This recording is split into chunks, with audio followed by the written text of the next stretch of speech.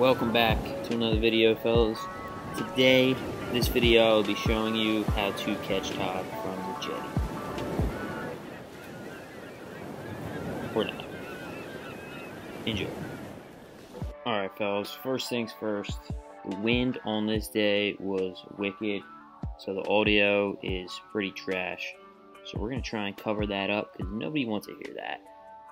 Second off, get yourself a pair of these ice trekkers. Found them on Amazon. Safety first, man. Some of these rocks are pretty slippery and they give you a little little bit more of a grip. So they're really good to have when you're out there togging. I know people like to use Korkers, pretty expensive. These are pretty cheap, so cheap option there for you. And lastly, it's been two years since I've been togging off of these jetties. So the kid's to be a little rusty, alright? So let me try and explain the sport of togging in layman's terms for everyone. So basically, you're to cast your rod a little bit off the rocks, not too far, not too short. You're to find a hole. Once you're in that hole, you should start feeling them picking at your crab. Now this is where it gets tricky because it is kind of hard to know when to set the hook. Once you set that hook, you could swing and miss, or you could hook into the fish. The fish could either have already swam you into the rocks to where you then have to break off, or you could pull the SOB out, which is awesome. By the bites, you can't even tell if it's a big tog or a little tog, because it seems like they all bite the same. But yeah, that's that's pretty much it. You use green crabs, sand fleas, but any type of crab they'll they'll go after. Shrimp even works and clam works. Now tackle wise, you're gonna want to use some some heavy monofilament. I like to use 50 pound. I tie a sinker to the bottom and I try and get that hook as close to the weight as possible. There's a lot of different variations of how people do it and I like to have a long mono leader going up to the main braid line just in case you're rubbing along those rocks. You have a little bit more security.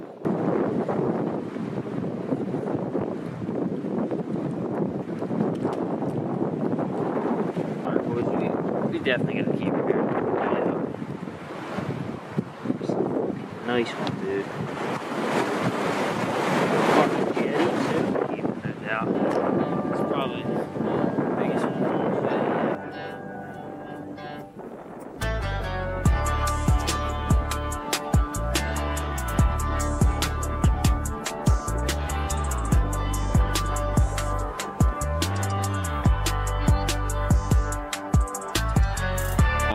Guys are thinking. Alex, why the hell did you put that fish back it was a keeper? They are great eat, but a 15, 16 inch keeper can be 6 to 10 years old, believe it or not. So they are super slow aging fish. So keep that in mind when you guys are out there. Well, I hope you guys learned something. If you haven't gave togging a try, definitely give it a shot. It is fun, especially in August when there's a summer lull, the flounder aren't biting.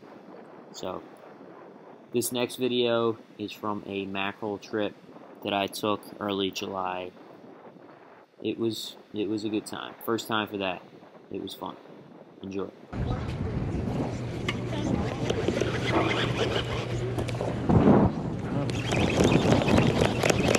Not good. Not good. Good. I'll pull mine like a little bit slower. Yeah, you got good though. I got a little one. You good. Man, that was a good catch now commercially. Yeah, it's getting, getting a little Mine absurd. right to the top. What do you say? He said we should have good catch commercially now. At that time? Let's go right to the fish market.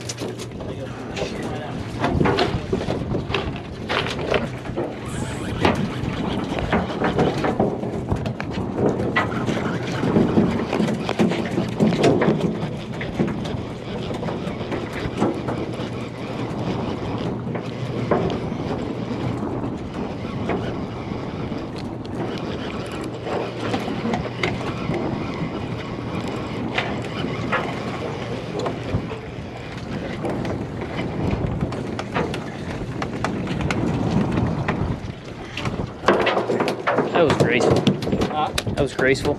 Yeah, we're in the water. well, then, yeah. Then you really don't mind.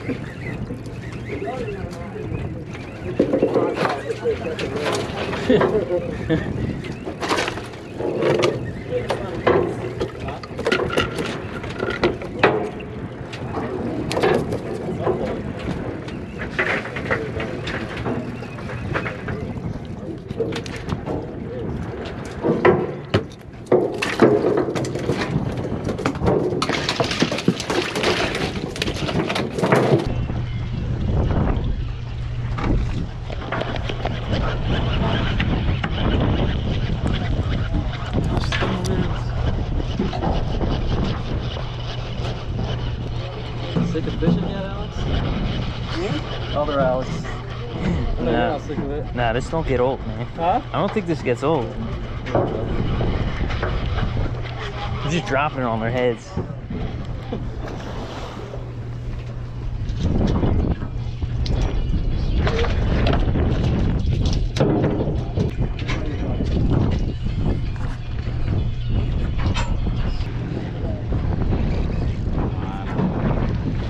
Turned into a meat trip real Huh? quick. Turned into a meat trip real quick.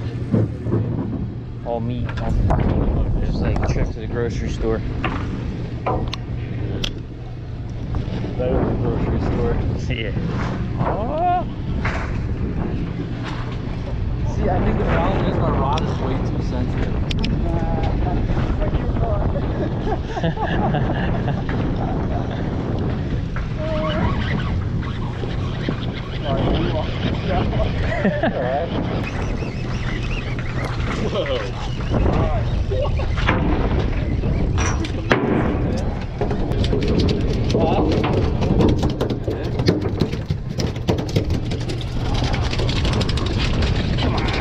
trying to swim upstream, bro.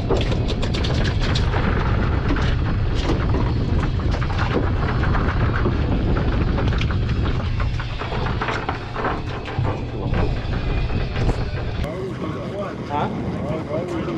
Why does he do that? Ah, That's nice, man. Look at that. All collected.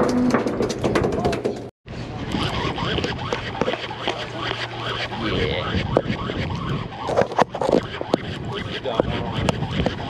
Did I get you? Oh, there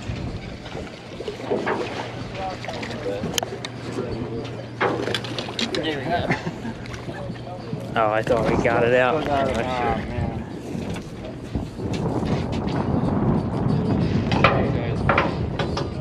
Yeah.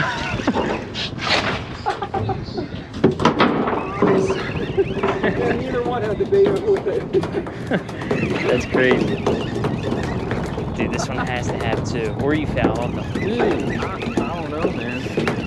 Maybe a foul hook, so maybe that's what it is, but it's a heavy. Yeah, he's yeah, it's a foul. foul hook. Isn't that crazy? What is? I was like, dude. I only felt one tail beat though.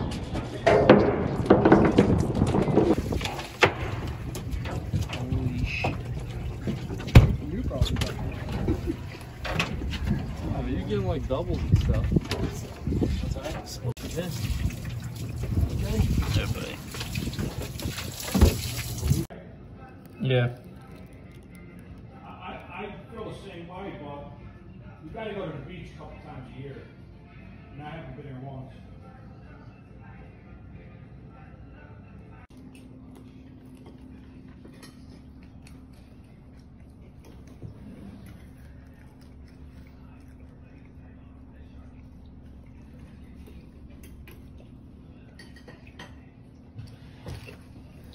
Oh no, this, this is chicken lima bean soup.